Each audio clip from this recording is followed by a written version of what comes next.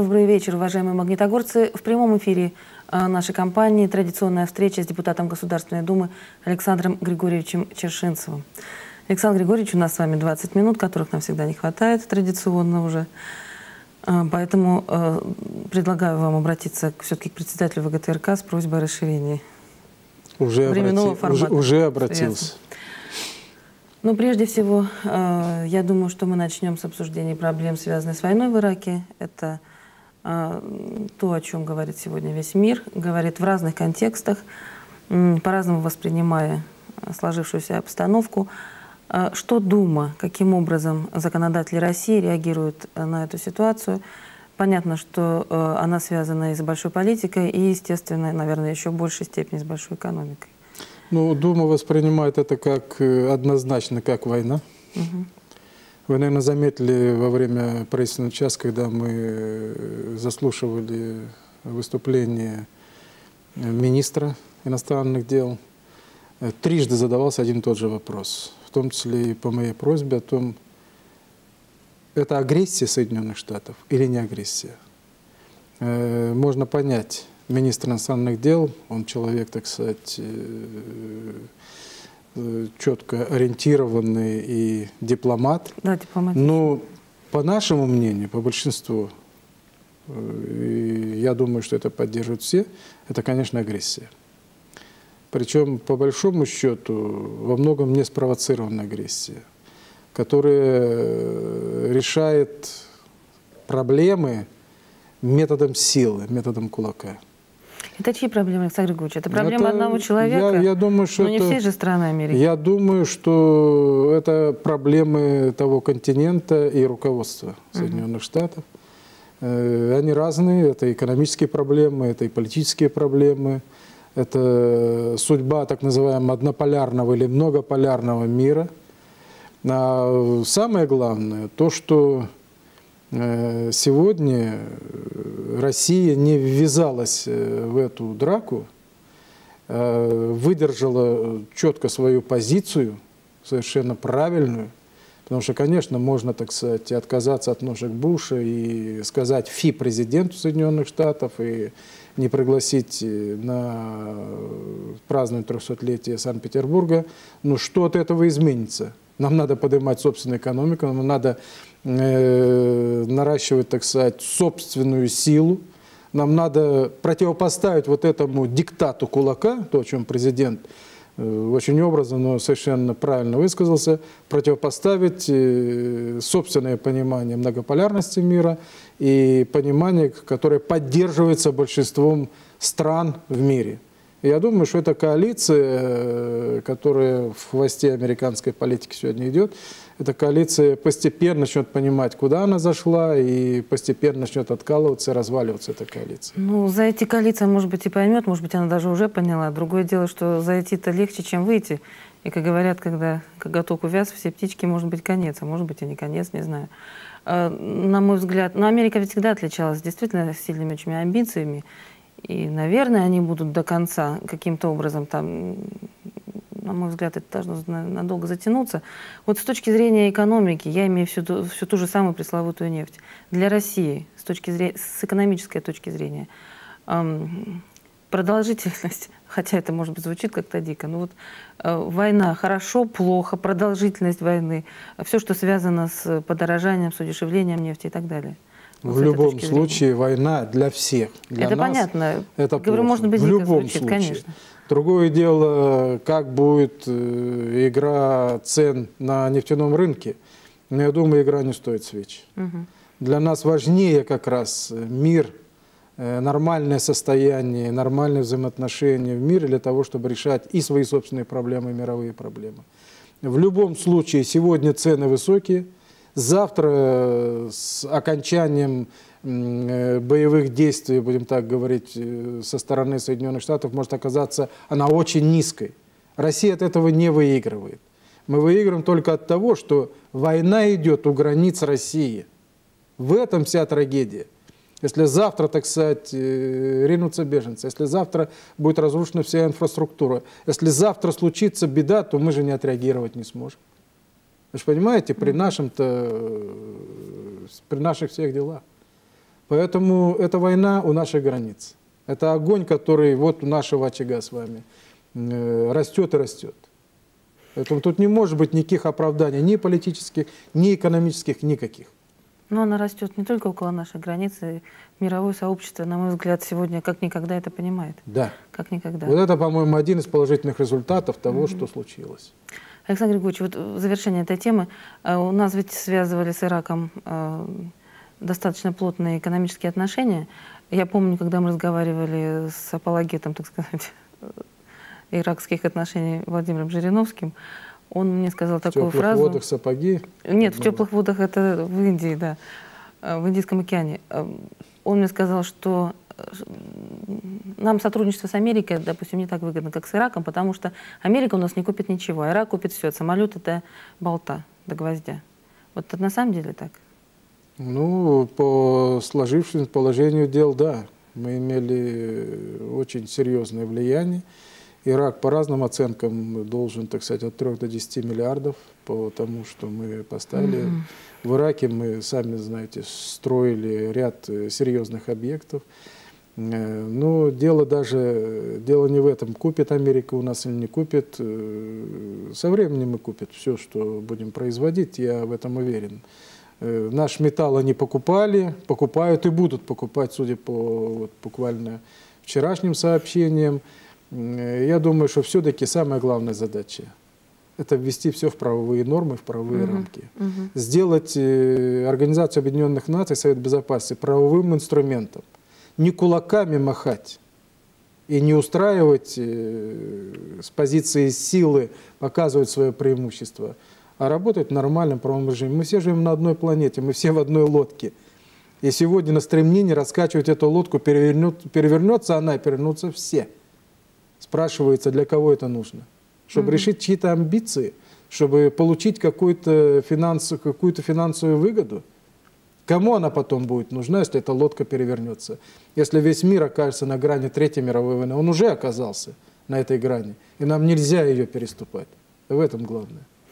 Да, вот вам и Нострадамус, который обещал кое-что на много-много веков ну, много назад. обещал, но Да, я просто, значит, так, ввести в правовые рамки, вывести, соответственно, войска, Конечно, вот хорошенькое дело, когда Организация Объединенных Наций сначала используется, когда выгодное решение принимается да.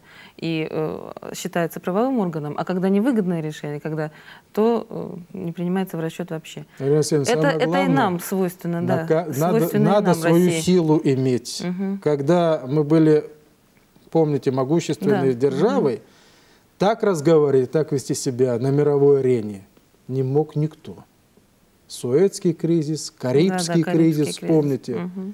Вот, начинали, но быстро заканчивали. Поэтому в мире надо быть сильным. Ну дай бог им разума закончить скорее, как можно.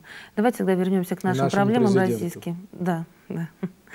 К нашим проблемам, которые касаются тоже, в том числе, э, безопасности в определенной степени.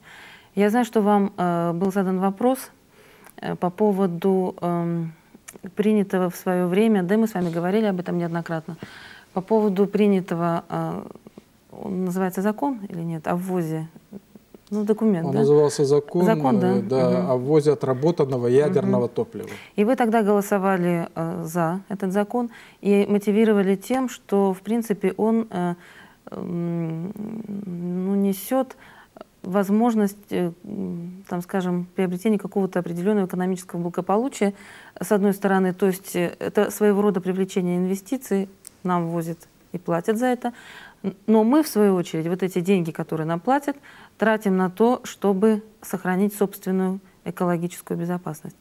Вот э, в данный момент на каком уровне находится, э, э, скажем, деньги где и куда их дели. Да, как, и были как, ли деньги, как, как мальчик? Как да, спрашивает президент, и совершенно справедливо, деньги? правильно, где деньги? Да. Значит, э, что касается ввоза э, отработанного ядерного топлива. Такой вопрос у меня был, задавала жительница Магнитогорска два вопроса. Значит, я э, не стал использовать э, вот свое мнение, мнение э, академика Нигматулина, который докладывал этот закон, он член нашей группы. я запросил официальный ответ от э, Министерства атомной промышленности. Ответ заключается в следующем. Все, что мы, сколько мы, так сказать, проговорили по этому вопросу, к сожалению, время упущено, время ушло.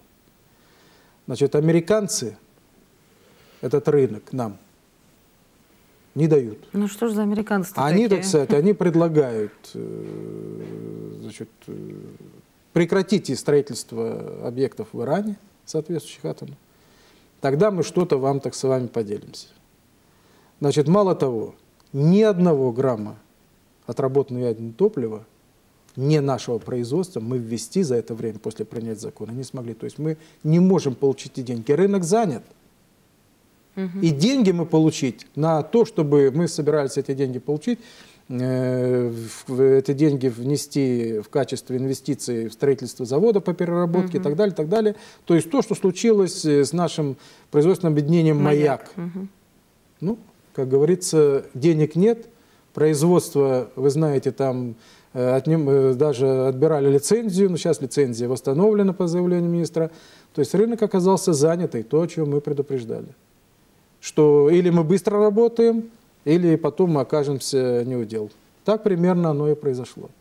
Так что, говоря о том, что э, разума хватит ли американцам, знаете, опять приходим к той же мысли, что разума пока не видно у них. Они все-таки радеют за свое. И тут нельзя не сказать э, о том, что несмотря на такую тяжелую ситуацию, все-таки мы вырабатываем какую-то политику, линию, которая позволяет нам э, быть каким-то сдерж, сдерживающим звеном вот в этих делах, в том числе и вот по всем этим э, нашим вопросам отработанного ядерного топлива. Мы вынуждены сегодня искать э, возможность для того, чтобы поддерживать собственную атомную промышленность, поддерживать собственный атомный щит. Мы вынуждены этим заниматься. Но, к сожалению, на рынок, внешний рынок, нас не пускают. И не пускает опять-таки кто? Те, кто много кричал о том, что мы зря эти законы принимаем. Что это вредно, что это экологически небезопасно, что это неправильно. А кто это такие? Это те же самые американцы. Угу. Вот я зачитаю буквально э, заявление министра э, атомной промышленности – который он дал э, вот в газете. Вот последний абзац. Пока нас по-прежнему не пускают на, на этот рынок. Свое топливо мы забираем, а иностранного так пока ни грамма и не везли, хотя многие опасались этого. А это деньги. Ну, вообще-то американцы редко кого куда пускают, на то да на то и существует рынок, чтобы туда не пускать и занимать там определенные позиции. Это надо Но если бы это еще и понимали наши что, все конечно, остальные с распростертыми объятиями, да, никто нас вот туда да. прямо не позовет, естественно, совершенно. На то и рыночная экономика. Так, значит, денег нам здесь не видать. Тогда следующий, следующий вопрос. От экономики к политике перейдем. А, я знаю, что 29 а, марта в Москве пройдет э, съезд который объединит э, достаточно э, сильные э, политические резервы, ресурсы. Это будет съезд Единой России, да? Знаю, что ваша фракция готовилась к этому очень серьезно, что вами готовился манифест, лидером вашим Морозовым, да, готовился манифест, который, как он характеризовал, смел своих вот каких-то таких определенных ключевых моментах. Достаточно смело. Я о чем хочу спросить. Э, сейчас очень много говорится о партийном строительстве. Вчера я только приехала, была на э, совместном заседании в Координационном совете э, политическо-экспертного совета и консультационный совет посредством массовой информации. Обсуждался вопрос как раз в том числе и выборов предстоящих и момента партийного строительства. Причем связывалось это таким образом. Партийное строительство и формирование сильного гражданского общества. Партийное строительство, формирование э, и, там, скажем, социальные гарантии определенные и так далее. Вот как вы бы охарактеризовали, э, в чем сила и слабость этого процесса сегодня? Именно создание партий, Причем партий-то много у нас. Ну, их не, их не так уж и много, как, в общем-то, предполагалось. Но, тем не менее, действительно, их достаточное количество. И самое главное, что сегодня все радеют за народ, сегодня все стремятся своей любовью к народу решить все проблемы. Да, действительно, 29-го состоится съезд партии «Единая. Россия». Я член Центрального политсовета этой партии. Да, мы выступаем на этом съезде э, с изменением в уставе, связанным с Высшим Советом партии, с рядом организационных мероприятий по приему в члены партии и так далее. И на этом съезде мы будем рассматривать идеологическую платформу. Она называется э, «Путь к национальному, партия национального успеха» или «Путь к национальному успеху». Э, готовил ее в том числе Олег Викторович Морозов, э, поскольку он член Генсовета и ответственный за вот эти вопросы в партии. Я думаю, что здесь, в общем-то, все будет зависеть от того, какая партия что будет решать. Потому что так вот, как сегодня, все любят всю планету и весь народ, так быть не может. Надо определиться конкретно. Вот мы определяемся конкретно. Мы определяемся и в экономической сфере, мы определяемся в идеологической сфере, мы определяемся в социальной сфере. Мы считаем, что это главное звено, которое надо сегодня вытаскивать. Под это дело будет подготовлен и готовится сейчас целый пакет законопроектов, который мы будем выносить уже начиная вот э, с конца весенней сессии и на осеннюю сессию.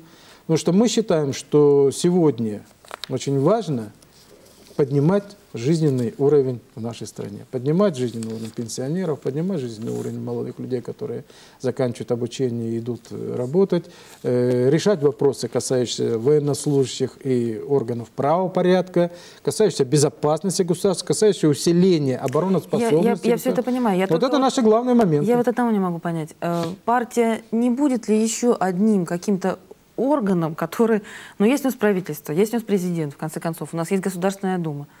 На уровне субъекта федерации у нас есть губернаторы, законодательные собрания, у нас есть мэры, есть городские собрания и так далее. Вот партии, они органично вплетаются сюда или, или это еще что-то? Нет, э, как раз партии сюда включаются органично для решения главных определяющих Ведь партия должна быть работы. идеологию только определять. По сути, Не она только. должна определять идеологию. Не только. Э, идеология определяется еще, знаете, известное выражение, что определяет экономику и что определяет политику. Э, партия как раз и должна. Вот мы сегодня открыты и прямо говорим, да, мы поддерживаем и будем поддерживать президента. Да, мы идем, так сказать, вот э, в фарватере э, политики президента. И исходя из этого, мы будем строить и строим сегодня всю свою деятельность. И, начиная с Государственной Думы, кончая всеми делами, которые проводят наши первичные организации, региональные организации здесь на местах. Угу. Потому что я еще раз подчеркиваю, что сегодня мы видим, как страна, я это могу оценить, потому что я два раза за последний месяц был в Армении, я вижу, от чего, по примеру Армении, от чего мы ушли уже. Благодаря, так сказать, вот этой политике, которая сегодня проводится. экономическую, социальную я могу сегодня, Армении, да, да, я могу сегодня сравнивать. Плохо там живут? Живут там плохо. Плохо. Живут тяжело, живут холодно. Сегодня, Поэтому так сказать, к нам бегут. Мы да? ушли. Нет, они не бегут к нам. Не бегут. Они просто работают и зарабатывают для того, чтобы их семьи могли жить в Армении. Не, ну я имею в виду да. именно для этого. Едут, да, там, там половина квартир в домах пустует. Ясно. У нас осталось совсем мало времени. Ну что ты будешь делать с этим временем? А, несколько вопросов, хотя я хотела бы обратиться к зрителям, что у нас в программе публикуется заранее время эфира, и можно вопросы подавать заранее, мы просто не успеваем с ними справиться. Вот ну, тут гневно. Давайте самого плохого. Давайте начнем Да, за 10 плохого. лет Россию развалили, а теперь боитесь Америки слово поперек сказать. Ну, не согласна ну, с этим. Как раз я поперек как... сказали. Да, мы как раз не просто а, да. поперек, а президент совершенно вот четко я, заявил если свою успею, позицию. задам, с какой партии Чершинцев пойдет на выборы в Думу на этот раз, непонятно с почему. Единой Россией. С Единой Россией. Не будем, так сказать, Да, почему время. на этот раз? Потому что в прошлом году... В прошлом, в прошлом я не был ни в какой под, партии. Да, под я не был ни в какой партии. Я сейчас пойду по мандатному округу. Все понятно. Так, закон о детской порнографии интересует. А будет ли в этом году принят? Я думаю, что я вам отдам этот вопрос. Ну, дело в том, что у нас этот вопрос даже не ставится, Александр поскольку это все понятно, ее не должно быть. Одна минута. А, вот есть вопрос, как относится Чершинцев к программе «Момент истины», но я думаю, что Вы относитесь к ней как к программе. Как к программе, Как да. программе, Поскольку я помню, правильно. как, с какими э, выступлениями Караулова мы слушали несколько лет назад, когда надо было оправдать политику Ельцина. Я помню прекрасно. А, Есть еще вопрос очень э, такой частный, я думаю, надо передать вам приемную. Э, Мы вынуждены закругляться. Александр Григорьевич, э, последних буквально несколько предложений. Когда уезжаете? Завтра? Я, нет, я уезжаю не завтра, завтра я буду на селе. Э, Дело не в этом. Мы живем в очень тяжелом времени сейчас, Мгм. действительно судьбоносное время. И то, что сегодня Россия находится на острие, я думаю, это тоже э, непросто. И то, что нам удалось сохранить лицо России, это очень важно. Мгм. И я считаю, что в этом огромнейшая заслуга президента и органов соответствующей исполнительной власти, которые занимаются всеми этими вопросами. Да, и я думаю, что все мы должны думать, что есть такое понятие, как а, геополитическая вообще ситуация, да. мировая, глобальная и так далее. Спасибо вам огромное за то, что вы принимали участие в нашем эфире. Всего вам самого доброго. До свидания. До новых встреч.